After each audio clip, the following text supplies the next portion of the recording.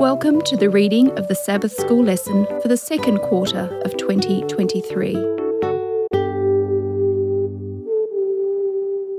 Welcome to lesson number 10, ready for teaching on June 3. The lesson is titled Satan's Final Deceptions. The author is Pastor Mark Finley and your reader is Dr. Percy Harrold, and this lesson is from the series Three Cosmic Messages. Sabbath afternoon, May 27.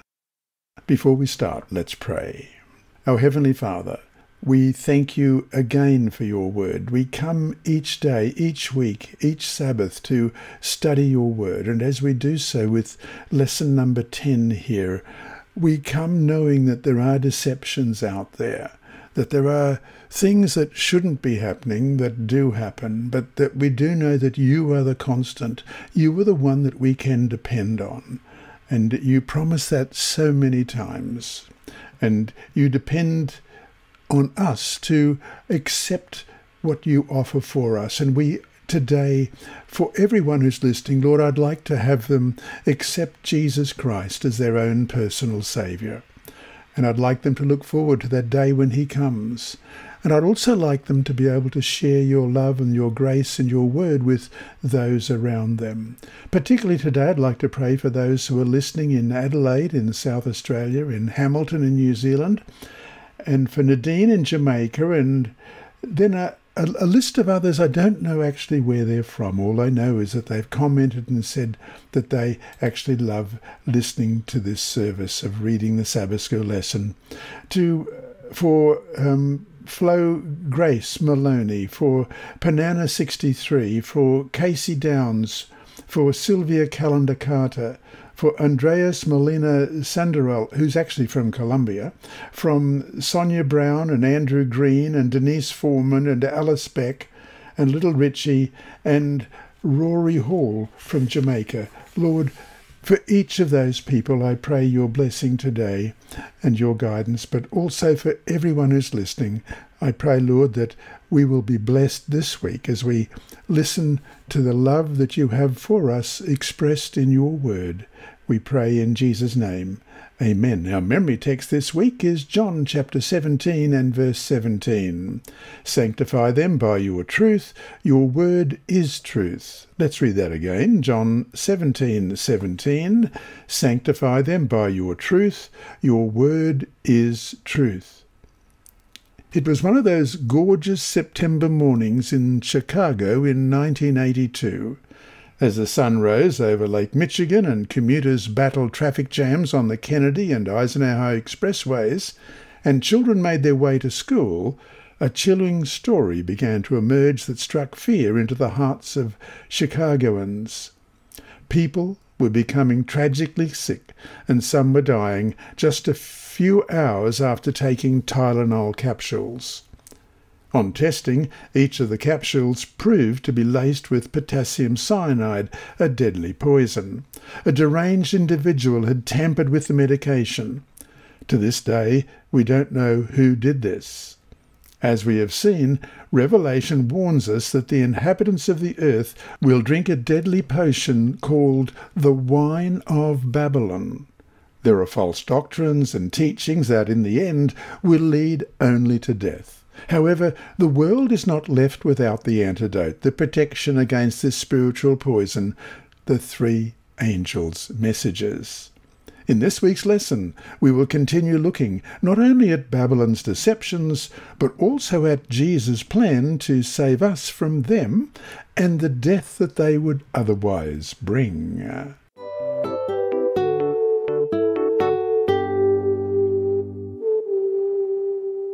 Sunday, May 28. The way that seems right to a man's eyes.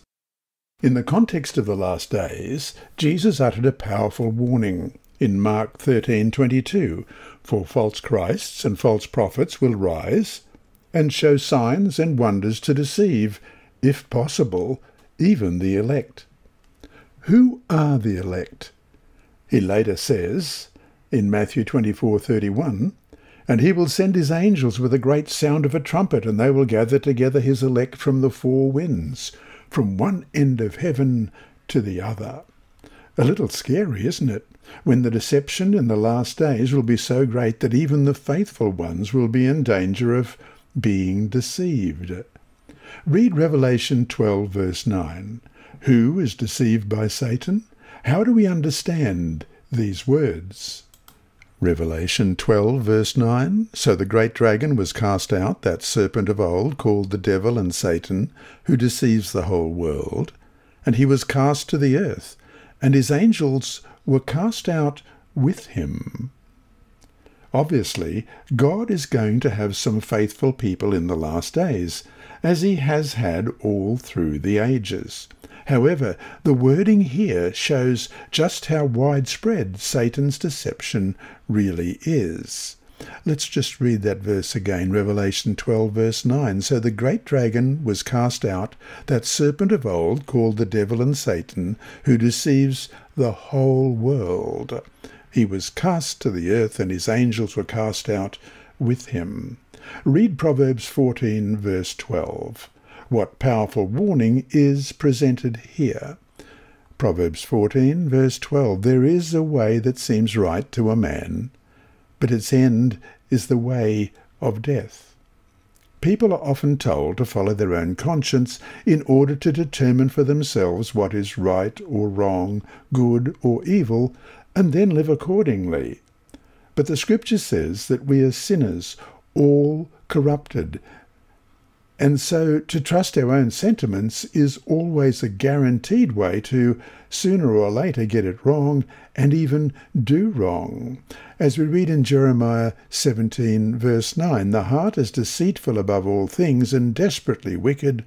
Who can know it? And Romans 3, verses 9 to 18. What then? Are we better than they? Not at all. For we have previously charged both Jews and Greeks that they are all under sin. As it is written, There is none righteous, no, not one. There is none who understands, there is none who seeks after God. They have all turned aside, they have together become unprofitable. There is none who does good, no, not one. Their throat is an open tomb, with their tongues they have practised deceit. The poison of asps is under their lips whose mouth is full of cursing and bitterness. Their feet are swift to shed blood, destruction and misery are in their ways, and the way of peace they have not known. There is no fear of God before their eyes. A lot of evil has been perpetrated through the ages by people utterly convinced of the rightness of their cause. That is, they followed the way that seems right to them.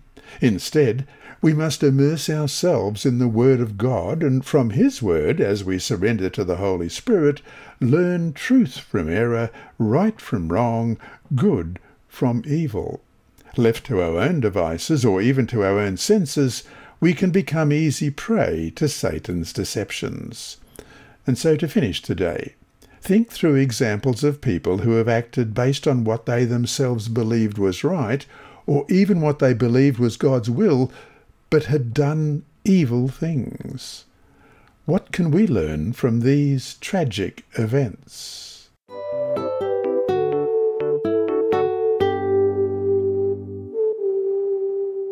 Monday, May 29.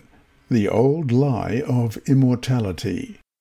Read Revelation chapter 16, verses 13 and 14, and chapter 18, verses 2 and 23. What allusions to spiritualism do you find in these verses? Revelation 16, beginning at verse 13, And I saw three unclean spirits like frogs, coming out of the mouth of the dragon, out of the mouth of the beast, and out of the mouth of the false prophet. For they are spirits of demons performing signs, which go out to the kings of the earth and of the whole world, to gather them to the battle of that great day of God Almighty. And Revelation 18, verse 2 And he cried mightily with a loud voice, saying, Babylon the Great is fallen, is fallen, and has become a dwelling place of demons, a prison for every foul spirit, and a cage for every unclean and hated bird. And verse 23 The light of a lamp shall not shine in you any more, and the voice of bridegroom and bride shall not be heard in you any more. For your merchants were the great men of the earth, for by your sorcery all the nations were deceived. Such expressions as dwelling place of demons or the spirits of demons and sorcery all indicate demonic activity. No wonder we have been warned that of the two great deceptions in the last day, one will be, as it says in the Great Controversy, page 588, the immortality of the soul. End of quote. Of course, that's so easy to see today. Even in the Christian world, the idea of the soul being immortal is all but staple Christian doctrine. Many Christians believe that at death the saved go soaring off to heaven and the lost descend into hell. How often, for instance, after the great evangelist Billy Graham died, did we hear that Billy Graham is safe now in heaven in the loving arms of Jesus, or the like? This kind of thing is taught all the time from pulpits, in classrooms, and especially at funerals. Read Ecclesiastes 9, verse 5, Job 19, verses 25 to 27, and 1 Thessalonians 4, 16 and 17, and Revelation 14, verse 13. What clear instruction did God give his people about life after death, and where do we find our hope? Ecclesiastes 9, 4, For the living know that they will die, but the dead know nothing, and they have no more reward, for the memory of them is forgotten and Job 19, verses 25 to 27. For I know that my Redeemer lives, and he shall stand at last on the earth. And after my skin is destroyed, this I know, that in my flesh I shall see God, whom I shall see for myself, and my eyes shall behold, and not another. How my heart yearns within me. And 1 Thessalonians 4, 16 and 17. For the Lord himself will descend from heaven with a shout, with the voice of the archangel, and with the trumpet of God, and the dead in Christ will rise first. Then we who are alive and remain shall be caught up together with them in the clouds to meet the Lord in the air, and thus we shall always be with the Lord. And Revelation 14, verse 13. Then I heard a voice from heaven saying to me, Write, Blessed are the dead who die in the Lord from now on. Yes, says the Spirit, that they may rest from their labours and their works follow them. One of the pillars of Babylonian deception is a false understanding of death, which, centered in the idea of immortality of the soul, prepares the way for the deceptive influence of spiritualism. If you believe that the dead, in some form, live on and might even be able to communicate with us, then what protection do you have from any of the myriad deceptions that Satan has? If someone who you thought was your dead mother or child or someone else beloved was suddenly to appear and talk to you, how easy would it be to be fooled by your senses? This has happened in the past, happens now, and certainly, as we near the very final days, will happen again. Our only protection is to stand firmly rooted in what the Bible teaches and to cling to the biblical teaching about death as a sleep until the second coming of Jesus. And so to finish today, what examples of modern spiritualism exist in your culture today? Why is firm adherence to the Word of God our only protection?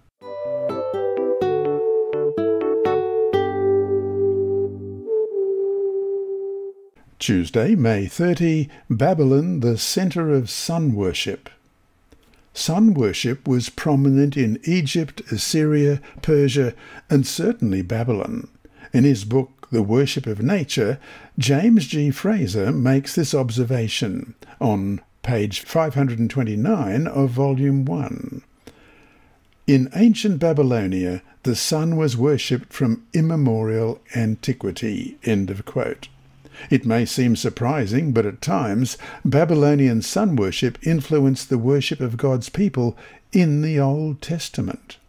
Read Ezekiel 8:16 and 2 Corinthians 23, 5 and 11, what did the prophets write about the influence of sun worship in Israel and Judah? Also look at Romans 1:25.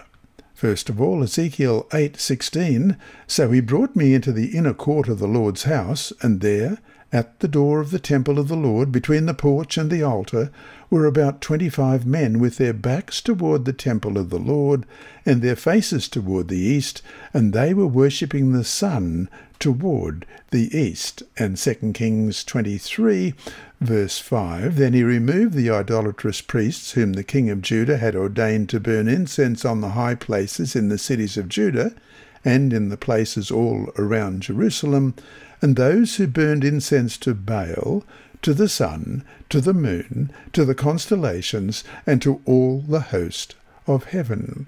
And verse 11 Then he removed the horses that the kings of Judah had dedicated to the sun at the entrance to the house of the Lord by the chamber of Nathan Melech, the officer who was in the court, and he burned the chariots of the sun with fire. And then we'll look at Romans chapter 125 who exchanged the truth of God for the lie, and worshipped and served the creature rather than the Creator, who is blessed for ever. Amen. The prophet Ezekiel, a contemporary of Daniel, pictured some of God's people with their backs toward the temple of God, worshipping the sun toward the east. Rather than worshipping the creator of the sun, they worshipped the sun instead. In Revelation 17, John describes a time when the principles of Babylon, including sun worship, would enter the Christian church during an age of compromise. The casual conversion of Constantine in the early part of the fourth century caused great joy in the Roman Empire. Constantine had a strong affinity for sun worship. Edward Gibbon, the renowned historian, writes in The History of the Decline and Fall of the Roman Empire, page 12, the sun was universally celebrated as the invincible guide and protector of Constantine. End of quote. In AD 321, Constantine also passed the first Sunday law. This edict stated on the venerable day of the sun, let the magistrates and the people residing in the cities rest, and let all workshops be closed. That was the Edict of Constantine in AD 321. This was not a law enforcing Sunday observance for all of Constantine's subjects, but it did strengthen the observance of Sunday in the minds of the Roman population. It was in succeeding decades that emperors and popes continued through state decrees and church councils to establish Sunday as the singular day of worship, which it remains today as well for the majority of Christians. What a powerful example of the hard truth that just because the majority of people believe in something or practice it doesn't make it right. And so to finish today, look around at how prevalent Sunday worship is in Christian churches. What should this fact teach us about how pervasive Satan's deceptions are? Again, as with the state of the dead, what is our only safeguard?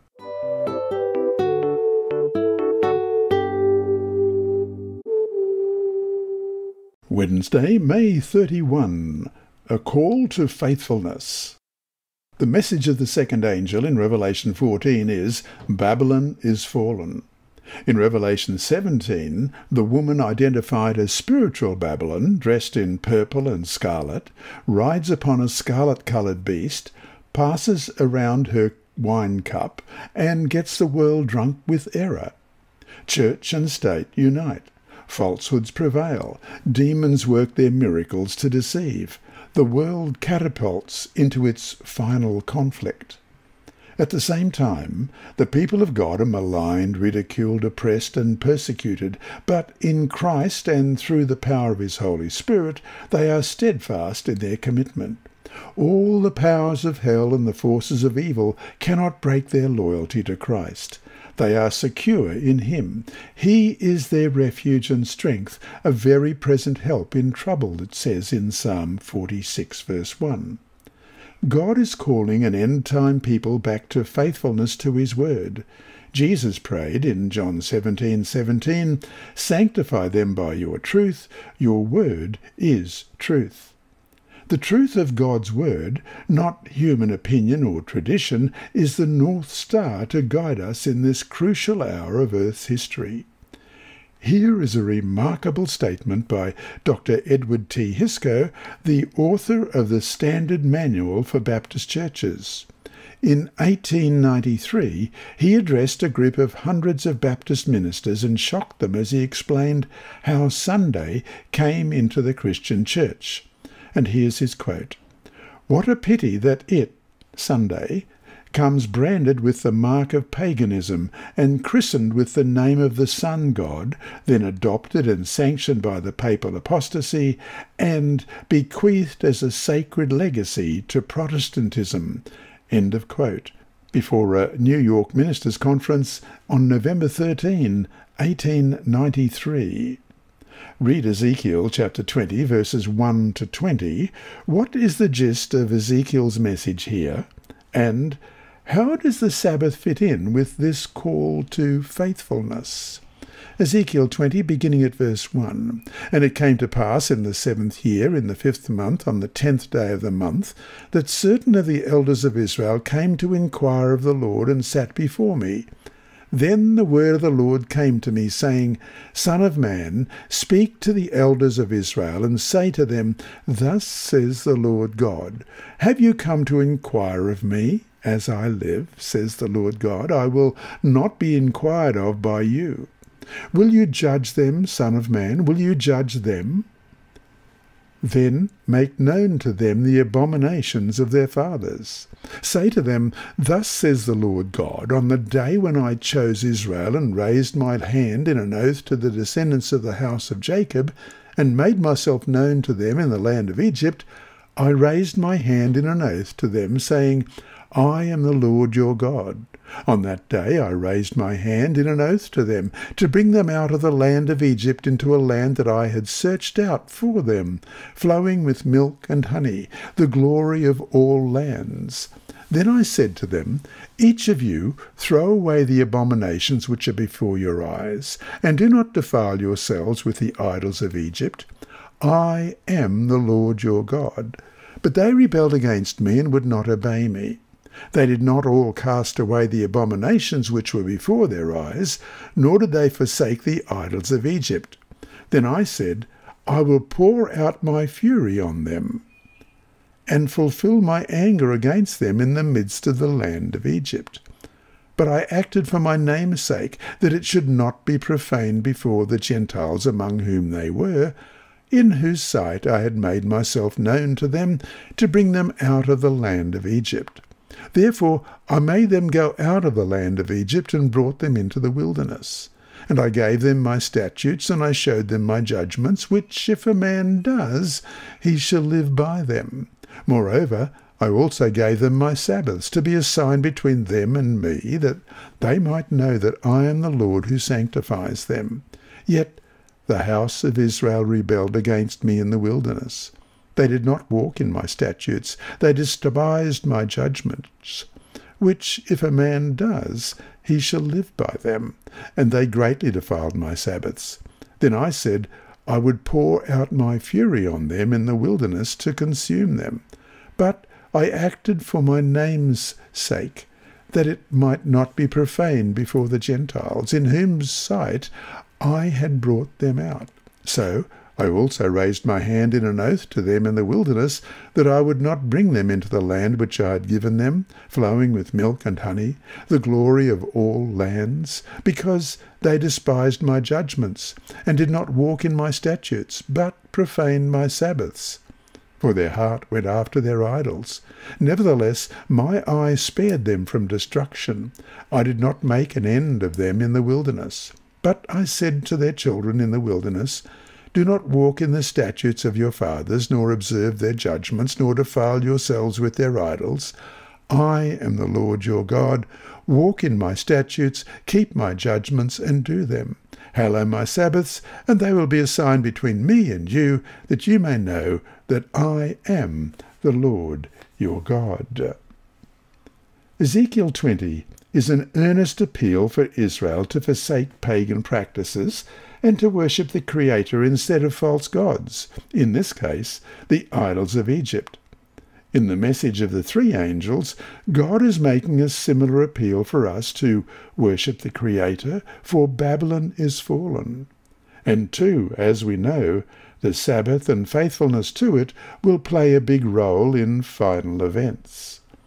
So to finish today, what lessons can we take away for ourselves from what has been written in these verses we've just read, Ezekiel 20, 1 to 20? Let's finish with 1 Corinthians 10, verse 11. Now all these things happened to them as examples, and they were written for our admonition, upon whom the ends of the ages have come.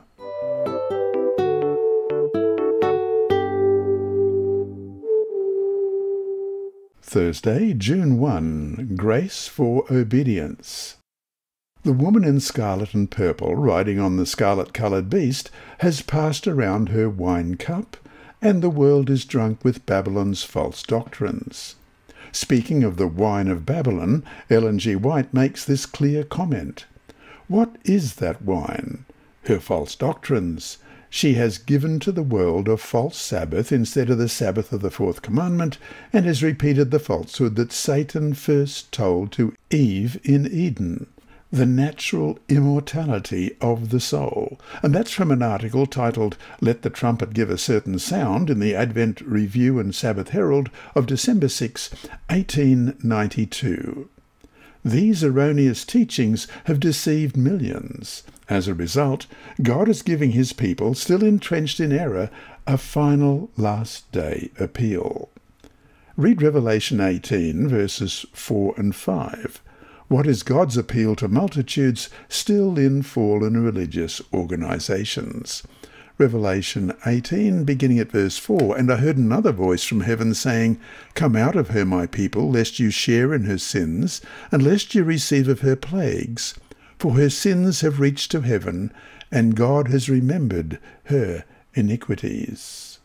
As we already have seen, but worth repeating, many of God's people are in religious organizations that have compromised biblical teachings they do not understand the truths of Scripture.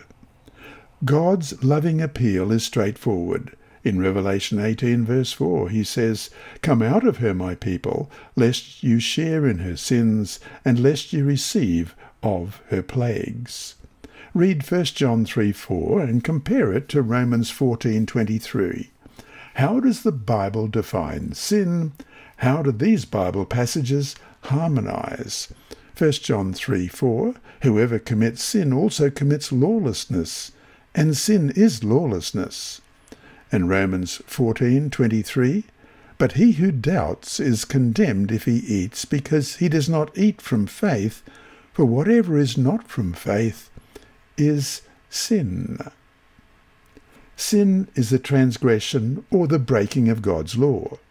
The only way anybody can obey the law is through faith in the power of the living Christ. We are weak, frail, faltering, sinful human beings. By faith, when we accept Christ, His grace atones for our past and empowers our present. He gives us grace and apostleship for obedience, as it says in Romans 1 verse 5. Heaven's appeal to his people in churches that do not respect and obey the law of God is to step out by faith. His appeal to Adventists in Sabbath keeping congregations is to forsake all self centered human attempts at obedience and live godly lives by faith in the grace of Christ, which delivers us from sin's condemnation and its domination. And just as Israel's faithfulness to the law in Deuteronomy 4 6 would have been a powerful witness to the world, our faithfulness too can be a powerful witness and help guide people out of Babylon. So let's finish with Deuteronomy 4, verse 6. Therefore, be careful to observe them, for this is your wisdom and your understanding in the sight of the peoples who will hear all these statutes and say, Surely this great nation is a wise and understanding people.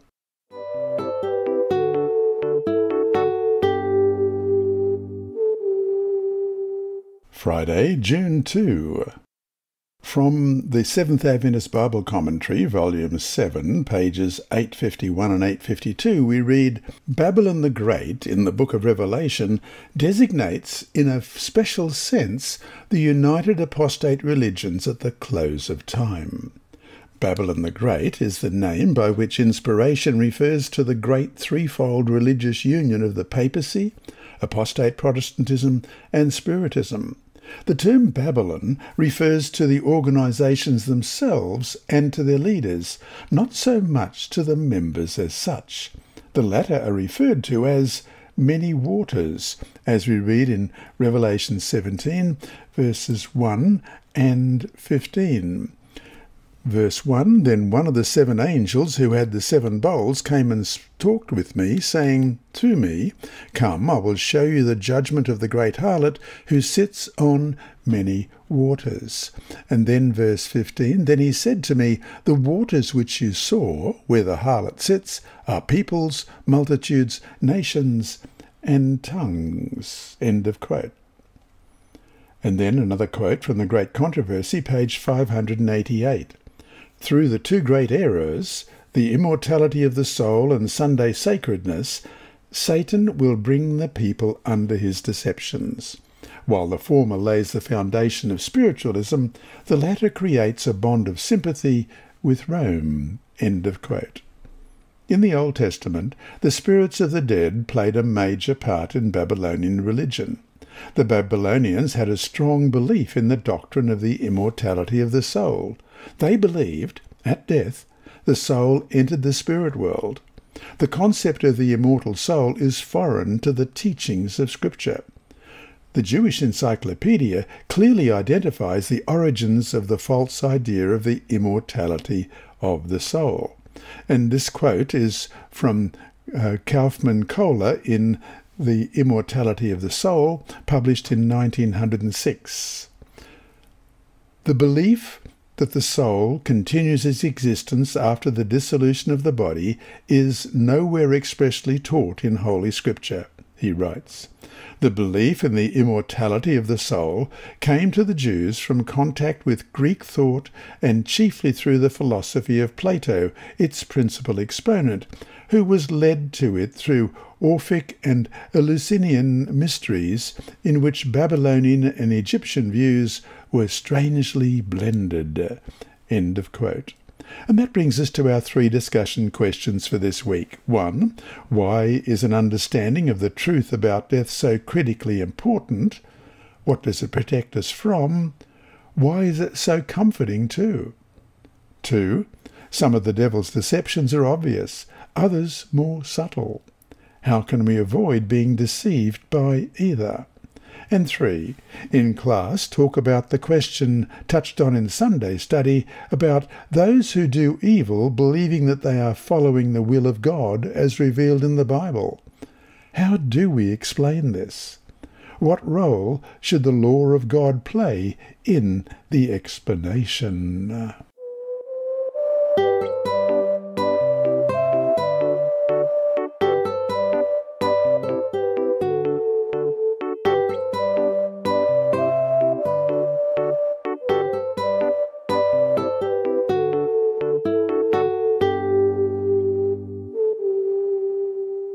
And now for Inside Story with Sibylla. Thank you, Sibylla. Bike and Bible Part 2 by MB as told to Kathy Lichtenwalter. My wife and I had saved money for many, many months to buy a bicycle for Hussein, the security guard for the building where we live as missionaries in the Middle East. God answered our prayers and helped us to buy a bicycle. As we inspected the answer to our prayers, we wondered out loud to each other what if we give Hussein a Bible with the bicycle? We wrote a note and a card and wrapped a Bible that we had bought many months earlier. We prayed for the best moment to present him with the gifts. I carefully planned what to say. I knew that the bicycle would be meaningful. I hoped that the Bible would be a sensitive step toward sharing truth. Hussein was overwhelmed with emotion when we arrived at his door with the bicycle. The bicycle looked impressive but I never expected the expression on his face as he gently held the Bible and carefully turned its pages. He was in awe. He was delighted, but I don't know who was happier, him or me. After two years of friendship, I was finally giving my friend and brother a Bible, the gift I had prayed about the most. My joy was indescribable. A few days later, Hussein invited me to his home for tea. When I arrived, I found him reading Genesis. His eyes sparkled. He explained that he had never read the Christian story before. I knew we had much to talk about, and I prayed for the Holy Spirit to give me the right words. That evening we spoke of heaven and death. I showed Hussein some beautiful verses in his new Bible. As we spoke, Hussein kept quietly leafing through the pages of the Bible. He seemed so engrossed with the Bible that I sensed God urging me to offer to study the Bible with him. I heard myself giving that wonderful invitation. Would you like to study the Bible together? To my astonishment, he accepted, and with great eagerness. That week, we began our Bible studies. That week, God continued his amazing work, and he is still working. Hussein and I both growing closer to God and to each other. My heart is filled with thanksgiving to God. I am filled with awe by the privilege of sharing God with Hussein. I am thankful to my wife for her kind and faith filled support. I am thankful to relatives in my homeland who have prayed with us for Hussein. I am thankful for believing friends who have prayed for us during this experience. I thank God for sending us the money to buy the bicycle and for giving us the courage to share His word with someone who is thrilled to learn about God from a new perspective.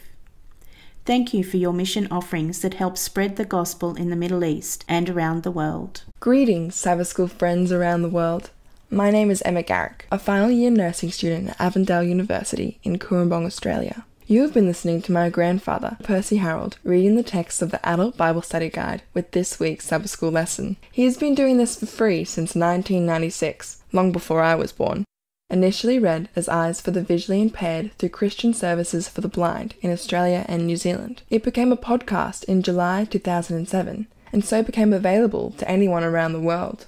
In 2021, PA's podcast became the reading podcast for the official General Conference Sabbath School app with daily recordings of each day of the lesson. The podcasts of the reading of the Sabbath School lessons are available from Hope Channel Australia, primarily on SoundCloud, and thence on multiple podcast rebroadcasters, including Apple iTunes.